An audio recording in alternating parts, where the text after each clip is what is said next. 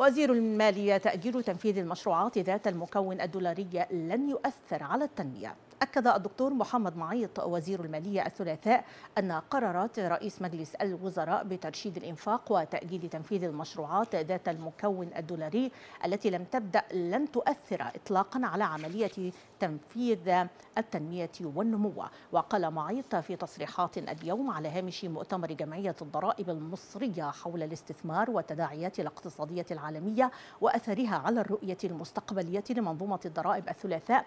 قال إن الأيام المقبلة ستشهد صدور قرارات وإجراءات تنظيمية لتنفيذ قرار الحكومة من جانب وزارتي المالية فيما يخص الباب الثاني تحديدا بالموازنة العامة للدولة الخاص بالنفقات الجارية.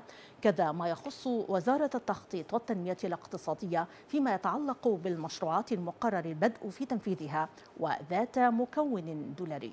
كانت الحكومة المصرية برئاسة الدكتور مصطفى مدبولي رئيس مجلس الوزراء قد اتخذت عددا من القرارات بشأن ضوابط وقواعد ترشيد الإنفاق العام بالجهات الداخلة في الموازنة العامة للدولة والهيئة العامة الاقتصادية في ظل الأزمة الاقتصادية الحالية من بينها تأجيل تنفيذ المشروعات التي لم يبدأ العمل بها ولها مكون دولاري.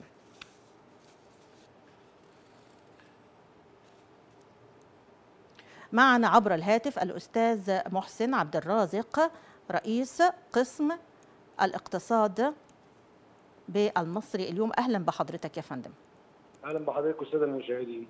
أهلا بحضرتك. الحقيقة تحركات حثيثة من قبل الدولة المصرية من أجل ربما امتصاص تداعيات الأزمات الاقتصادية الراهنة خاصة تلك الناتجة عن تداعيات الأزمة الأوكرانية الروسية فضلا عن أزمة كورونا والتي حلت أو التي أطلت بظلالها على الوضع الاقتصادي بشكل عام. كيف ترى في دور الدولة خلال هذه المرحلة في مجابهة التحديات الاقتصادية على وجه التحديد؟ أعتقد إن لا حد لا, لا, لا صوت يعلو فوق صوت تداعيات الازمه المالية العالمية وأثرها نعم. على الاقتصاد المصري آه على كافة المستويات وإن الحكومة المصرية والبنك المركزي بيعكسان خلال الفترة الأخيرة على آه مزيد من الإجراءات لمواجهة التداعيات. كان أبرزها وأخرها ما اتخذه قرار آه دولة رئيس مجلس الوزراء الدكتور مصطفى مدبولي أمس ب تأجيل تنفيذ المشروعات الجديدة م. التي لم يبدأ العمل بها والتي يدخل فيها مكون دولاري طبعا حضرتك عارفة إن ده جه على خلفية إن في إحنا بنعاني صحيح. من أزمة نقد أجنبي الفترة الأخيرة م.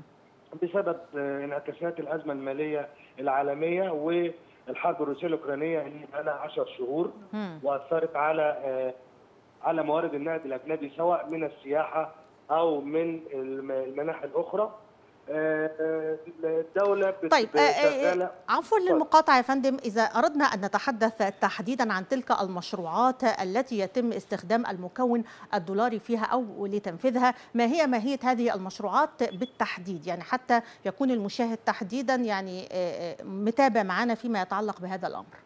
دي تحديدا على وجه التحديد. أنا سألت الدكتور محمد معيط وزير المالية اليوم عقب انتهائه من إلقاء كلمته أمام مؤتمر جمعية الضرائب المصرية آه على طبيعة المشروعات. هو قال لي بشكل واضح إن المشروعات دي لدى وزارة التخطيط والتنمية الاقتصادية نعم. آه ربما تعلن عنها خلال أيام. أما بالنسبة فيما يتعلق بمسؤولياته هو كموازنة عامة للدولة ويخص فيها في هذه المسألة الدولارية أو ما يتعلق بترشيد الإنفاق تحديدا في الباب الثاني في الموازنة العامة والخاص بالمشتريات والإنفاق والاشياء اللي بينفق على عليها فيما يتعلق في هذا الباب. الفترة المقبلة ستشهد صدور إجراءات تنظيمية وتعليمات من الوزارتين وزارتي المالية والتخطيط والتنمية الاقتصادية نعم. لتحديد تفاصيل هذه المشروعات. مم. المشروعات القومية التي القرار هنا يخص بالتحديد التي لم يبدأ أو لم يتم البدء في تنفيذها ويتدخل فيها آه نقد آه مكون دولاري نعم.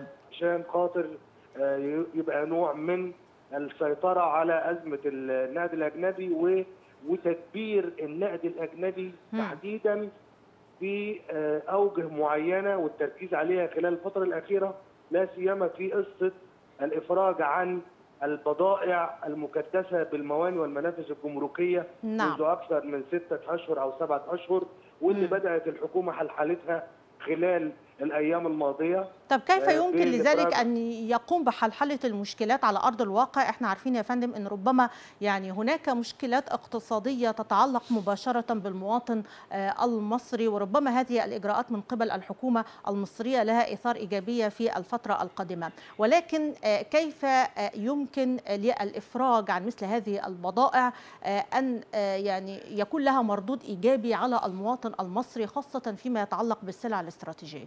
هذا سؤال جيد واحيي حضرتك عليه بالطبيعة أو بال- بال- بالتبعية لما حضرتك تفرجي عن البضائع المكدسة في المواني بالتالي المفروض إنها تنزل السوق وليست تدخل في إطار التخزين وده اللي وده اللي بتشتغل عليه مصلحة نعم. الجمارك منذ بدء عملية الافراج بالتنسيق مع وزارة التجارة والصناعة مم. وجهات أخرى منوطة إن هي بتبلغها بأسماء ال ال ال ال العمليات الاستيرادية اللي تم الافراج عنها ونوعها والسلع الخاصة بيها وراحت فين؟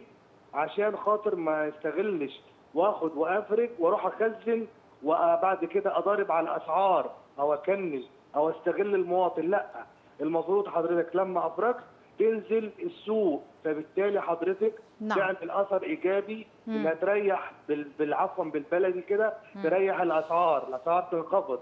فده يبقى مردود إيجابي في مسألة الإفراج إن أنا كدولة بوفر نقد أجنبي عشان خاطر أخرج البضائع دي نعم. يعني في غضون ال- الفترة القادمة تعهدت الحكومة. انها كل البضائع اللي كانت اللي في المنافذ نعم. آه، تخرج وده كان محور الكلام اللي, اللي أنا اتكلمته. مع السيد رئيس مصلحة الجمارك أمس في في المصري اليوم مم. ونشر في صفحات المصري اليوم على ال- القصة بتاعه الإفراج على البضائع وأثرها على الأسعار. نعم سؤالي الأخير آه، لحضرتك يا فندم آه، ربما منذ قليل قرأت يعني خبر مهم جدا عن يعني الدعوة إلى آه، دمج أو قرارات من قبل الحكومة المصرية على وجه التحديد لدمج الاقتصاد غير الرسمي آه، أو آه، آه، كما يقال يعني حتى يعني أبسط الأمور مثلا الباعة الجائلين أو ما يسمى بالاقتصاد الحر في الاقتصاد الرسمي الخاص بالدو- بالدولة.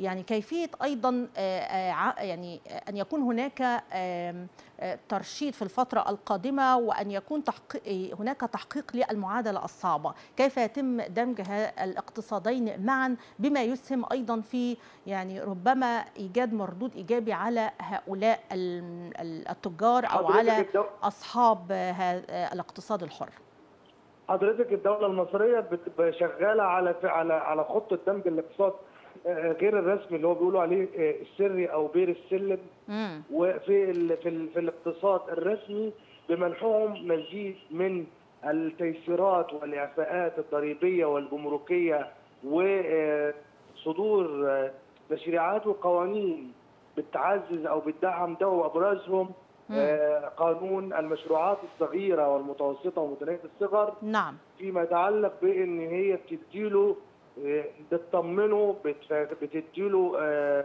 تيسيرات إن هو يخش يندمج إن يسجل نفسه في منظومة الضرائب. في منظومة ال- الجمارك في منظومة التأمينات الاجتماعية يفصح عن ال عن ال عن الإيرادات بتاعته وبدون ما إن تتعامل معاه بشكل يعني في نوع من ال- التعسف التخويف أو مثلا الترهيب أو مم. الجزافي أعتقد إن الفترة دي الدور دلوقتي هو على القطاع الخاص مم. اللي هو الخاص بالمشروعات الصغيرة والمتوسطة إن هو يبادر إن هو يكون جوه المظلة الرسمية. للاقتصاد الرسمي وبالتأكيد هيكون لي برضو أيضا مردود إيجابي فيما يتعلق بجودة المنتج الذي آه، سيتم إنتاجه من خلال آه، هذا الاقتصاد تحديدا. وأن يكون هناك.